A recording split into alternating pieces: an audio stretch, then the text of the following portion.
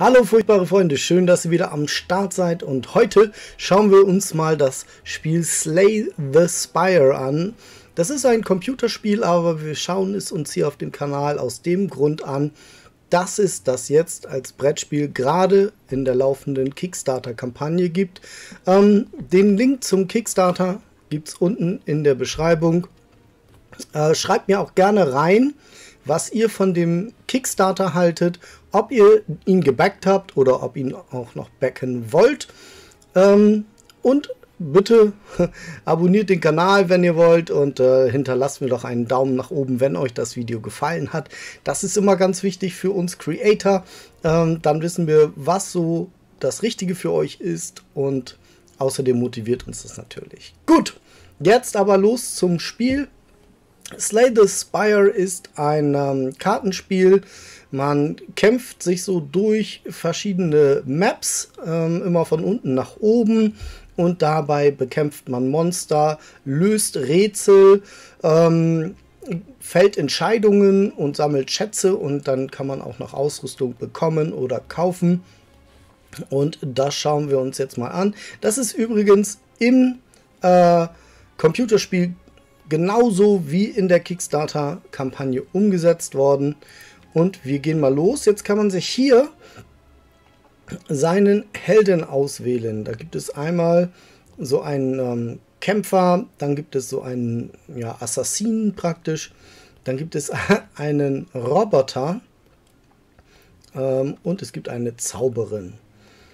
Wir spielen es heute mal mit dem Kämpfer. Ähm, man kann diese, man kann das sehr häufig spielen, da man immer wieder neue Karten für die Kartendecks äh, freischaltet. Und ja, man muss auch erstmal die verschiedenen Kämpfer hier freischalten.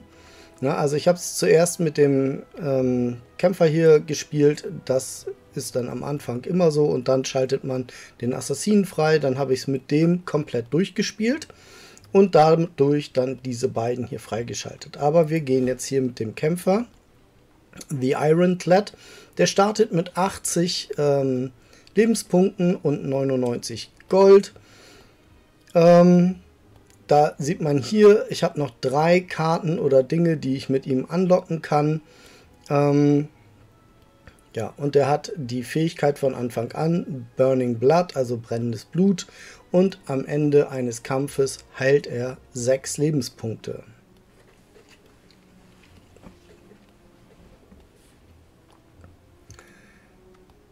Ja, und dann geht's rein in die Spire sozusagen.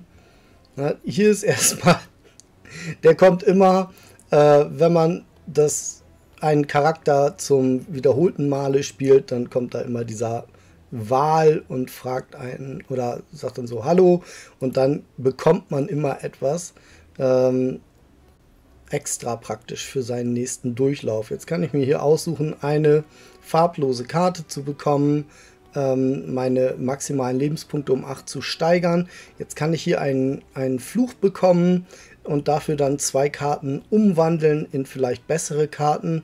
Ähm, so ein Fluch ist aber relativ nervig, deswegen mache ich das mal nicht.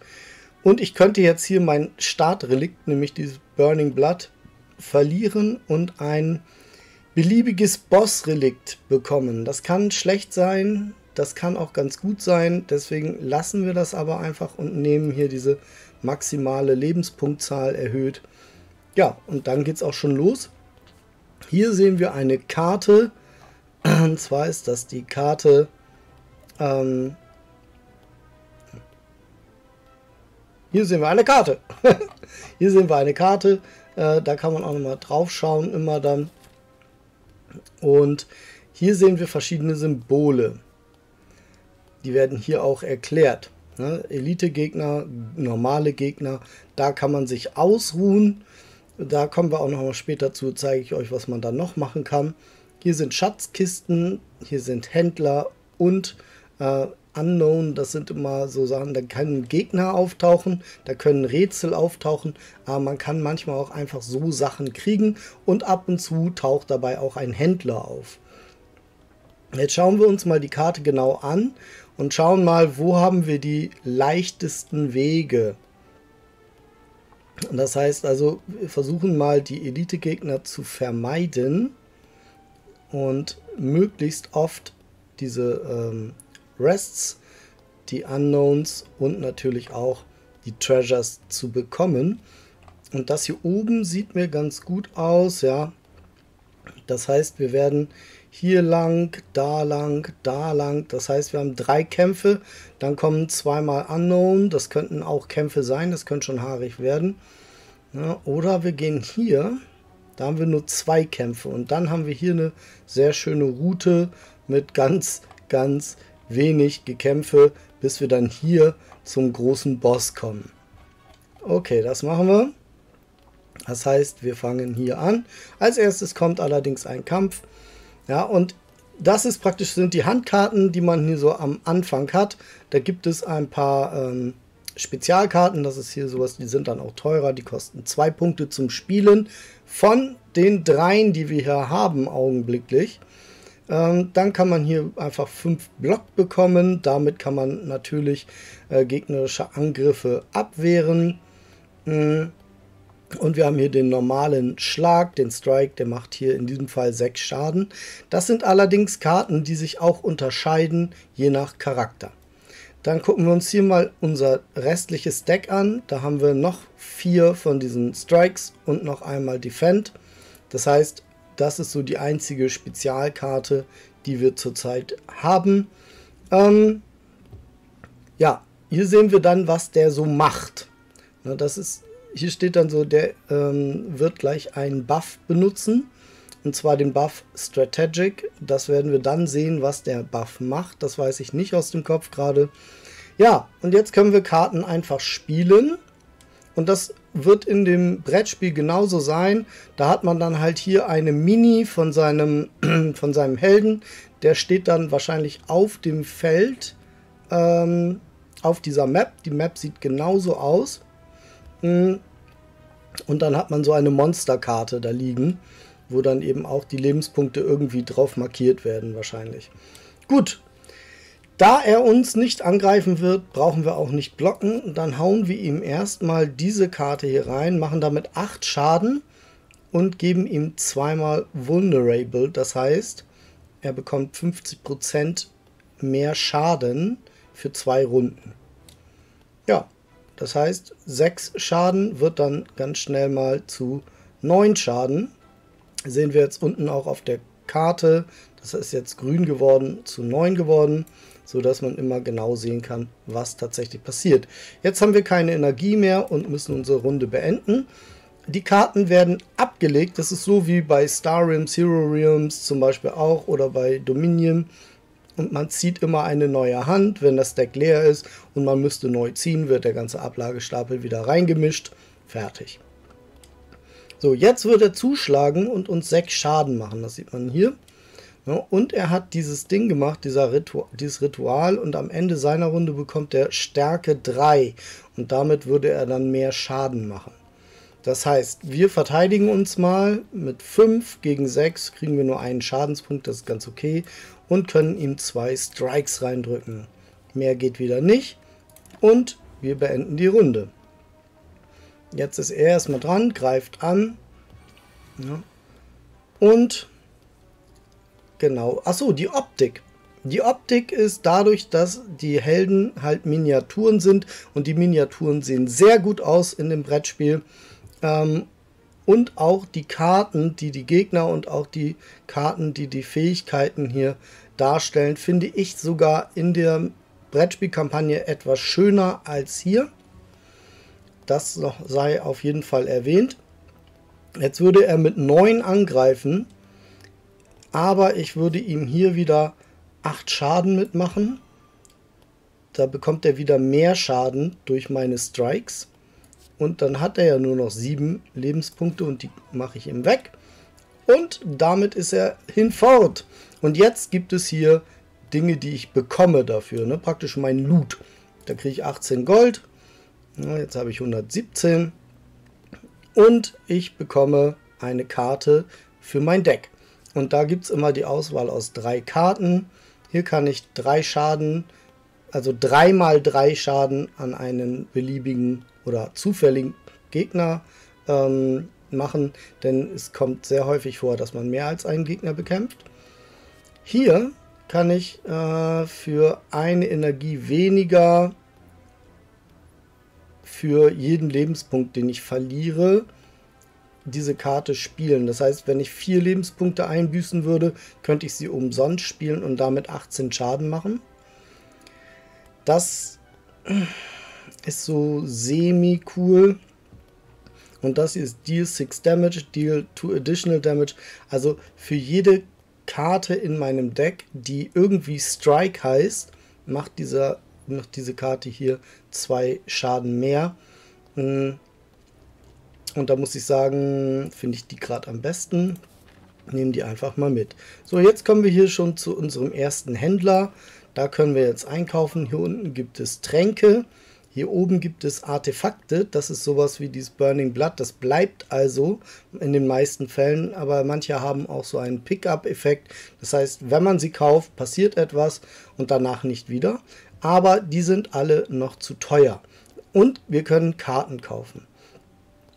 Da gibt es einmal die hier. Und die finde ich immer sehr gut, weil sie erstens 0 kostet. Sie macht 6 Schaden und ich kriege dadurch noch eine Kopie dieser Karte in mein Deck, wenn ich diese spiele. Ähm, das ist dann zwar nur für den einen Kampf, aber bei stärkeren Gegnern kommen diese Karten immer wieder. Und wenn man dann plötzlich mal so zwei oder drei davon auf der Hand hat, dann rockt das schon so ein bisschen. Außerdem kann man Karten noch upgraden. Das heißt, man kann sie hochstufen und dann würde hier auch mehr Schaden bei rumkommen. Das heißt, die kaufe ich auf jeden Fall, weil ich die finde ich eigentlich immer ganz gut. Da kriege ich sieben Block und eine zufällige Karte auf meiner Hand wird ähm, exhausted. Das bedeutet, dass ich sie in dem Kampf, in dem laufenden Kampf nicht wieder einsetzen kann. Ist nicht schlecht, geht mir aber manchmal zu sehr schief. Deswegen kaufen wir noch die hier. Da kriege ich fünf Block und kann eine Karte in meiner Hand für den Rest des Kampfes upgraden, also hochstufen. So, mehr soll es nicht sein. Das heißt, wir gehen weiter. Und jetzt kommen wir hier zu unserem ersten Fragezeichen. Und da müssen wir jetzt eine Entscheidung treffen. Beziehungsweise in diesem Fall ist es, wir können eine Entscheidung treffen, weil das eigentlich ziemlich gute Entscheidungen sind. Wir können hier entweder eine Karte aus unserem Deck rausnehmen. Das macht man, wenn man entweder so Flüche oder sowas im Deck hat also schlechte Karten. Oder wenn man eben viele gute Karten im Deck hat und möchte, dass die häufiger drankommen, dann nimmt man Karten raus, wie zum Beispiel die Strike oder den einfachen Block. Hm. Hier kann ich eine Karte umwandeln und hier könnte ich eine Karte hochstufen. Und das Hochstufen mache ich mal und dann nehme ich den Anger. Dann macht er nämlich schon 8 Schaden. So, das machen wir. Und weiter geht's. Jetzt kommt der nächste Kampf. Und da haben wir so zwei Schleime. So, der Schleim wird also gleich angreifen. Hm, acht Schaden, das lassen wir uns einfach mal geben, glaube ich. Denn wir haben hier äh, eine Strike-Karte auf der Hand. Und das Ding hier macht zwei Schaden zusätzlich für jede Strike-Karte. Und deswegen äh, machen wir das mal auf ihn hier. Bam. 18 Schaden, das ist ja ganz nett. Dann machen wir ihm nochmal 8 Schaden hiermit. So. Und jetzt können wir ihn auch schon erledigen. Und der macht ja gar keinen Schaden gerade. Das heißt, da ist es egal, dass ich jetzt keine Defend-Karte mehr spielen kann. Der macht jetzt seinen Zauberspruch hier. Das ist auch nicht so cool. Da kriegen wir jetzt einen Effekt. Wir werden geschwächt. Und meine Attacken machen jetzt 25% weniger Schaden für eine Runde. Okay, aber er hat ja auch nur 8 Lebenspunkte. Das ist also halb so wild. Zack, zack und tschüss. Jetzt kriegen wir wieder Loot.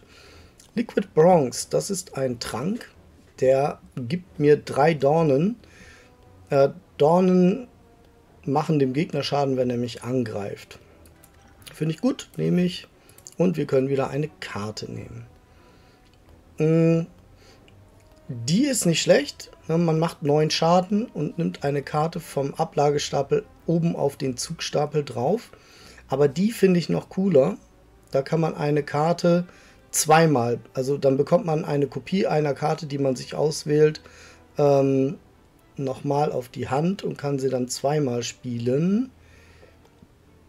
Andererseits ist die halt cooler, wenn man mehr Energie hat. Und das haben wir noch nicht, also nehmen wir die hier. Die in der Mitte wollte ich jetzt gar nicht haben. So. Jetzt müssen wir wieder eine Entscheidung treffen. Ähm, das ist jetzt irgendwie so ein Schleimhaufen und wir können da reingreifen, weil da drin etwas schön leuchtet. Da würden wir drei Lebenspunkte verlieren und hätten eine 25% Chance, ein Relikt zu finden. Oder wir können einfach weggehen. Ich greife da mal rein. Habe nichts gefunden. Jetzt würde ich, könnte ich nochmal reingreifen für vier Lebenspunkte. Das mache ich. Und ich bekomme die Eternal Feather. Und für jede fünf Karten in meinem Deck kriege ich drei Lebenspunkte zurück, wenn ich eine, ja, so ein Restzeit, also so ein Lagerfeuer betrete. Na gut. Hier hätten wir auch gleich so eins. Das machen wir mal. Jetzt kriegen wir wieder äh, drei Lebenspunkte, haben wir jetzt gekriegt. Und jetzt ähm, 87 von 88. Da muss ich nicht resten, denn damit würde ich nur ein Drittel meiner Lebenspunkte, äh, 30 Prozent meiner Lebenspunkte wiederkriegen. Aber ich habe ja nur einen verloren bisher. Also schmiede ich. Das kann man auch immer machen bei diesen Lagerfeuern. Und damit kann man eine Karte im Deck verbessern. Jetzt sehen wir, dieses Anger ist nicht dabei. Die haben wir nämlich schon mal verbessert. Ähm, mm, mm, mm. Wir verbessern mal die hier.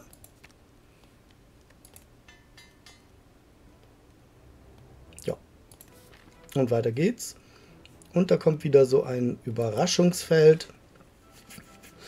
Und diesmal haben wir einen Gegner auf dem Überraschungsfeld. Schade. Ich setze das hier ein.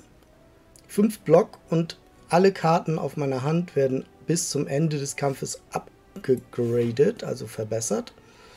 Ne, eine Karte, Entschuldigung. Und die Karte, die hier eben noch war, die war schon verbessert.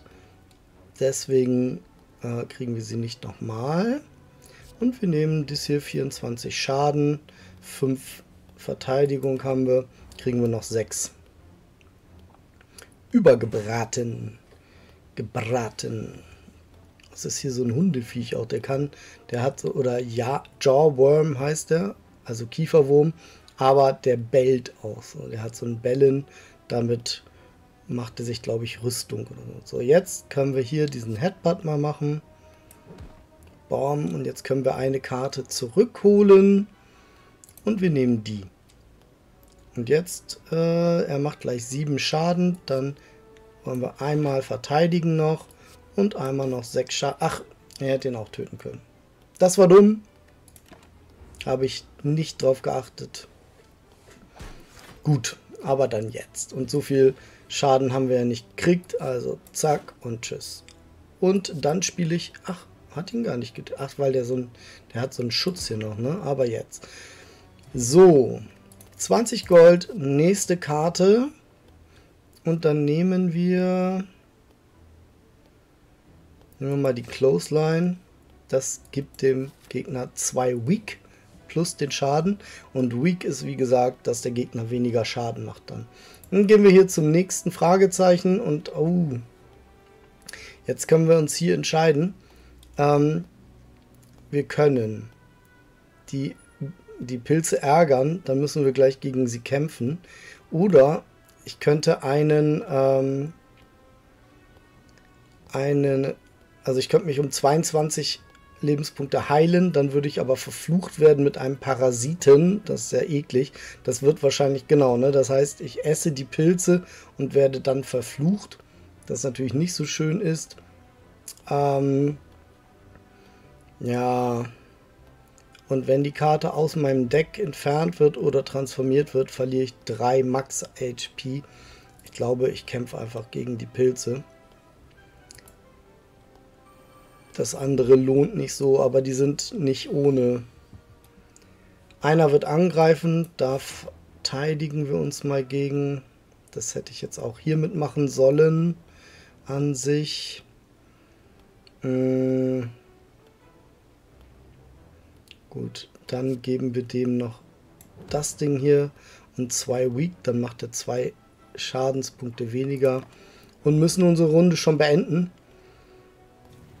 Da wäre es besser gewesen, ich hätte die andere Karte gespielt, dann hätte ich auch 5 Block bekommen, aber ich hätte noch eine Karte verbessern können bis zum Ende des Kampfes. So. Jetzt drücken wir dem hier mal das rein. Dann spielen wir das auf, auf den. So. Jetzt trinken wir mal den Bronzetrank äh, und kriegen dadurch diese Dornen. Und wir, da kommt den, den machen wir noch weg. So. Jetzt kriegen wir zwar Schaden ordentlich, aber die kriegen auch Schaden ein bisschen zurück. Ja, und ich behaupte nicht, dass ich hier die perfekten Runs mache oder sowas. Also äh, mit Sicherheit nicht. Aber manchmal geht es ganz gut, manchmal nicht. Den hauen wir gleich um, dann kriegen wir von dem auch keinen Schaden in nächster Runde. Das war also auch doof, überhaupt diese Verteidigung zu spielen, eigentlich. Aber okay, alles noch im Rahmen. So, der haut jetzt ordentlich zu, wenn wir ihn nicht vorher wegmachen. Ähm, ich spiele das und dann upgrade ich den Strike für diesen Kampf. Jetzt mache ich ihm 8 Schaden. Und hiermit nochmal 9 und damit haben wir ihn erledigt. Kriegen wir 23 Gold. Wir kriegen einen Pilz. Ähm, gut, damit, wenn wir Vulnerable aufgedrückt kriegen als Debuff, dann können wir den nehmen und dann halbieren wir den Effekt. Das hier äh, sind die Top Cards meines Top 3 Cards. Achso. Ah, von meinem Nachziehstapel werden dann einfach die drei, nächsten drei Karten gespielt. Das ist ziemlich cool. Und wir können wieder eine Karte zum Deck äh, dazu nehmen. Hm, und dann nehmen wir mal diese Iron Wave, die gibt Block und macht Schaden. Jetzt kommen wir hier zur Schatztruhe und da kriegen wir den Kunai. Und jedes Mal, wenn ich drei Attacken in einer Runde spiele, kriege ich einen Dexterity und Dexterity äh, gibt mir mehr Block, wenn ich Blockkarten spiele. Okay, jetzt kommen wir wieder an so eine Restzeit und diesmal ruhen wir uns aus. Dann haben wir wieder maximale Lebenspunkte, wenn es weitergeht. Hier kommt unser nächstes... Ah ne, wir müssen erst nochmal hier zu dem Fragezeichen. Da haben wir einen Händler. Mal gucken, was es da so gibt. Hier gibt es Tränke. Damit kann ich dreimal Weak verteilen. Da kriege ich 5 Dexterity. Und hier kriege ich 12 Block. Ich nehme mal diesen 12 Block Trank und den Dexterity Trank. Gut, dann haben wir auch viel zu wenig Gold, um noch irgendwas damit zu machen. Und weiter geht's in den nächsten Fight. Gut, der wird zuschlagen für 12. Wir können ihn nicht vorher erledigen. Also machen wir das so. Wir verpulen ihm eine und kriegen 5 Block. Dann geben wir uns nochmal 5 Block. Und dann... Ne, das machen wir nicht. Wir machen das. Ah ne, geht nicht. Okay, dann machen wir das. So, und jetzt legen wir die uns die wieder oben drauf hier damit wir die in der nächsten Runde nochmal nehmen können. Jetzt greift er an, wir kriegen zwei Schaden. Ist ja nicht so schlimm. Jetzt äh, mal überlegen. Ich nehme das und upgrade die Iron Wave für den Rest des Kampfes. Dann spiele ich die, mache jetzt sieben Schaden und kriege sieben äh, Block und dann kann ich ihn nochmal schlagen, denn mit 12 Block, die ich schon habe hier, macht mir der Schaden jetzt auch nichts mehr aus. Sehr gut. Läuft bisher. Okay, wir schlagen ihn mal hiermit für Lau.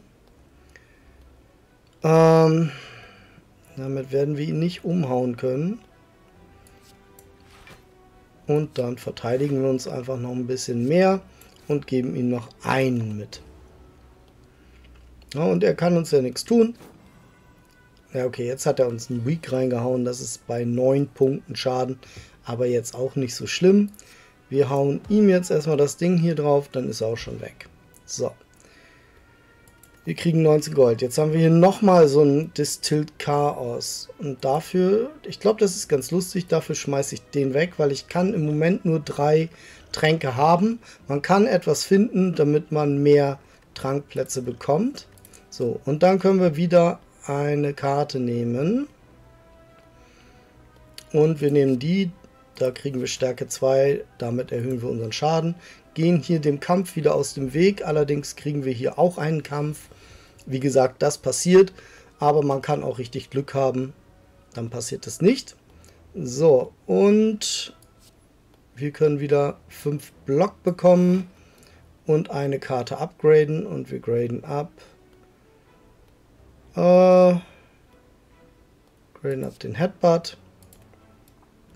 So.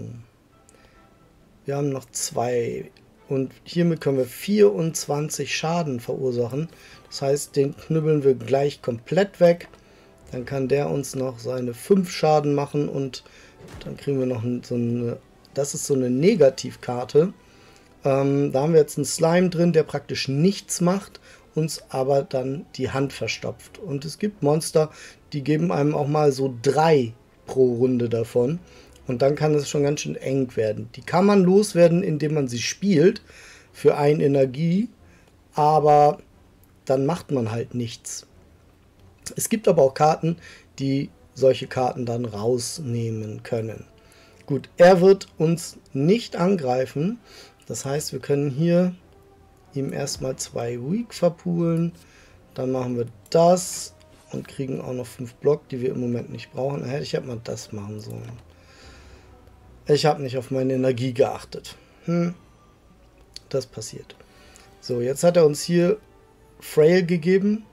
Ähm, da, da kriegen wir einmal Block weniger, wenn ich sie jetzt spiele. Wenn ich die jetzt spiele, hier sehen wir, kriege ich nur 3 statt 5 Block. Aber wir brauchen das gar nicht, denn unser Schaden reicht locker aus, um ihn platt zu machen. Ein Colorless Potion. Hm, da kriege ich eine von drei zufälligen Karten, die ich auf meine Hand nehmen kann. Wenn ich die spiele, kostet es dann 0. Gegen 12 Block. Schwierig. Ich nehme lieber die 12 Block, da weiß man, was man hat. Hier nehme ich jetzt die Karte. Das ist cool. Immer wenn ich eine schlechte Karte ziehe, dann ähm, mache ich 6 Schaden auf jeden Gegner. So. Da können ja auch schlechtere Karten bei rumkommen, aber 12 Blocken kann einen unter Umständen wirklich retten. So, jetzt gehen wir wieder zum Händler. Ich habe nicht viel Geld, da wird nicht viel bei rumkommen, aber wir müssen nicht kämpfen. Hier können wir sogar gar nichts kaufen für die paar Kröten. Macht aber nichts. Jetzt kommen wir wieder hier an ein Lagerfeuer. Da weil wir volles Leben haben, verbessern wir wieder eine unserer Karten. Und ja, dann nehmen wir auch die hier. Von 6 Schaden auf 10 Schaden, das ist schon ganz cool. Und zack, gehen gegen den Endboss dieses Levels. Er hat 140 Lebenspunkte und der ähm, wird dann gleich einen starken negativen Effekt ausspielen und er hat die Fähigkeit Split. Wenn seine Lebenspunkte unter 50% ähm, gehen, dann wird er zu zwei Bo Slimen, die beide die äh, Lebenspunkte haben, die er noch hat. Also ziemlich übel. Hm, jetzt haben wir hier wieder dieses Armament, da machen wir uns 5 Block und verbessern diese Karte dann spielen wir 7 Schaden auf ihn und spielen nochmal 6 Schaden auf ihn. Und dann ist unsere Runde vorbei. Jetzt macht er da irgendeinen Kram. Genau, jetzt haut er uns hier drei von diesen Karten ins Deck. Und leider haben wir nie... Ach doch, hier, guck. Hm, das ist so eine Power, die bleibt auch bestehen. und das ist ganz cool, immer wenn ich jetzt so eine Karte bekomme oder ziehe, kriegt er hier Schaden.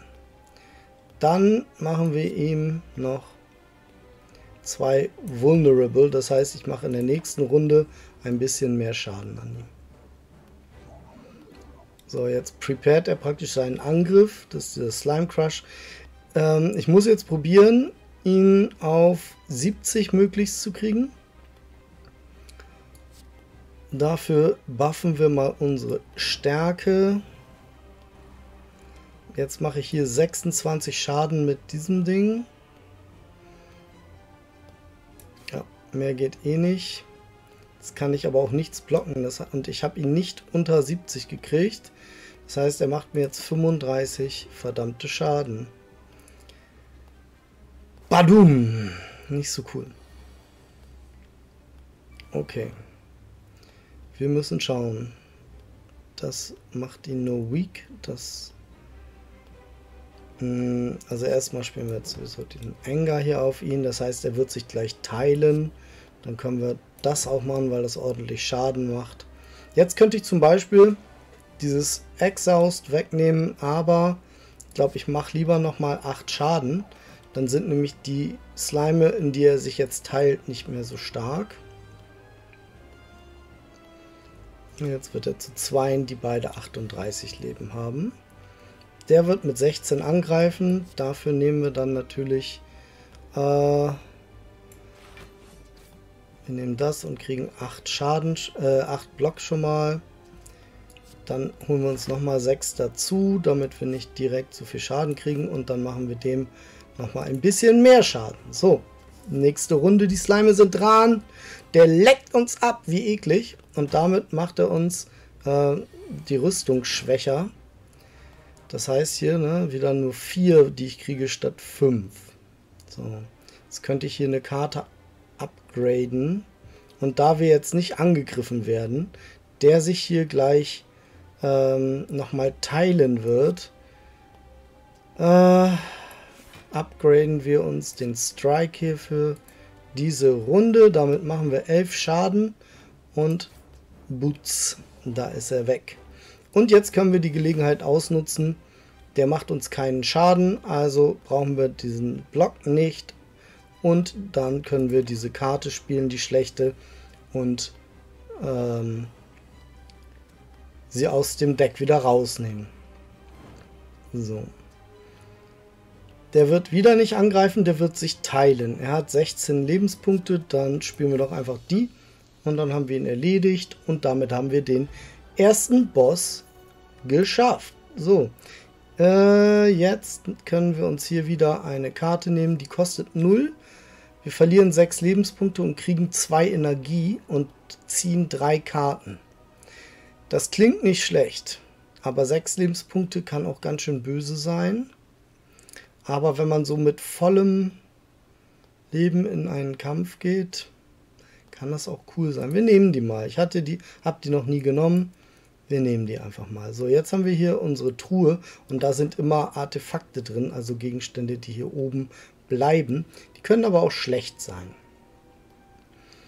Hier kann man jetzt drei Karten transformieren und danach upgraden. Hier kriegt man eine Energie ähm, am Anfang seiner Runde, aber man kann an Rest-Sites nicht mehr die Karten verbessern.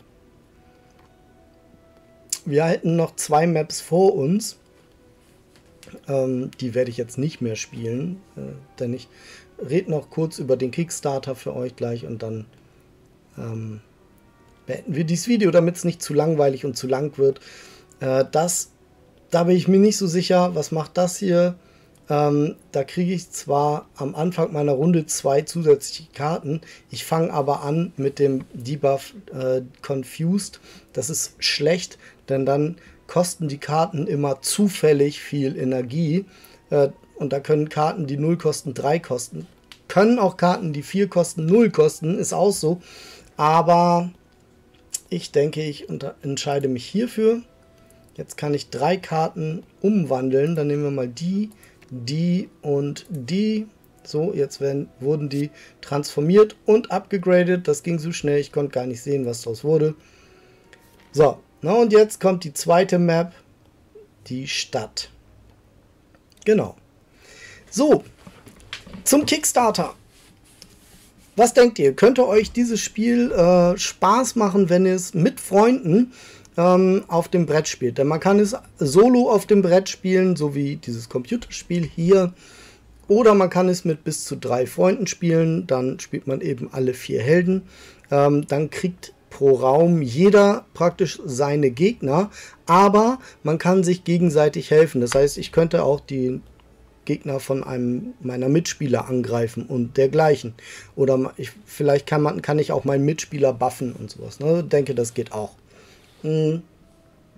Ich persönlich werde es nicht backen. Dieses Computerspiel ähm, habe ich jetzt schon sehr häufig gespielt und es hat sehr viel Spaß gemacht.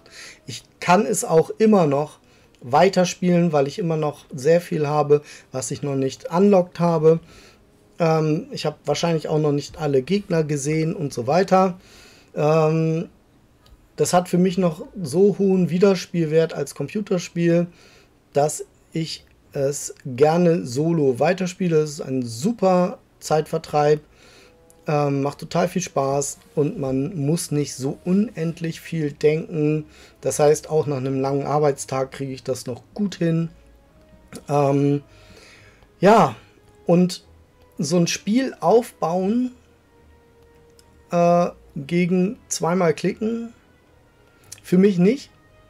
Das Ding ist auch nicht ganz billig. Wenn ihr sagt, Computerspielen tue ich gar nicht, aber das Spielprinzip, was du uns hier gezeigt hast, Kid Zero, das gefällt uns schon, dann ähm, kann ich es euch empfehlen, das zu backen. Denn es macht, also das Computerspiel macht schon sehr viel Spaß und ich, da das ganz genauso sein wird, äh, except dem Multiplayer, äh, würde ich euch das Brettspiel auch empfehlen, wenn ihr Brettspielfans only sozusagen seid. Ja, das sei dazu gesagt. Ähm, und damit beende ich dieses Video. Wie gesagt, wenn es euch gefallen hat, gerne liken, abonnieren, Glocke aktivieren. Dann sehen wir uns beim nächsten Video und ich hoffe, ihr bleibt gesund. Bis dahin, euer Kid Zero.